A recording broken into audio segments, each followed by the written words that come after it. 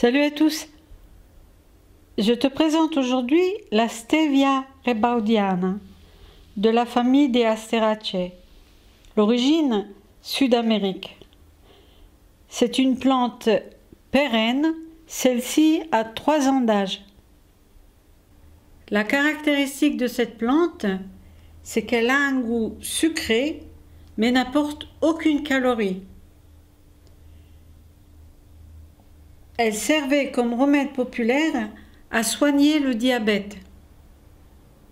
Les feuilles contiennent des glycosides qui ont un goût sucré.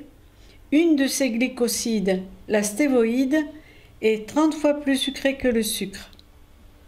Elle protège le pancréas. Elle a des propriétés anti-inflammatoires et hypoglycémiantes. Elle est aussi efficace contre les dermatites. Les feuilles ressemblent un peu à celles de la menthe. Les feuilles plus vieilles sont les plus sucrantes. Les tiges portent des feuilles opposées. La plante peut atteindre un mètre de hauteur, mais se maintient autour de 40-50 cm. Les fleurs sont blanches, petites et apparaissent au bout des tiges, à former un bouquet.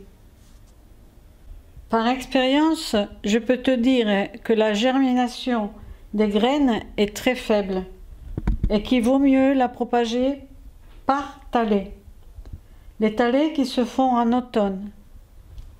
Elle craint la sécheresse et le gel, mais prospère en plein soleil. Cette plante a trois ans d'âge. Au fur et à mesure de mes besoins au printemps-été, j'ai cueilli quelques feuilles.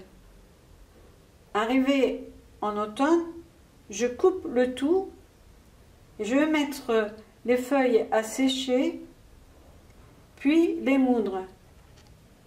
La plante va dormir tout l'hiver, même laissée en dehors, mais elle va reprendre au printemps. La stevia remplace le sucre dans toutes nos préparations. Gâteaux, boissons, etc.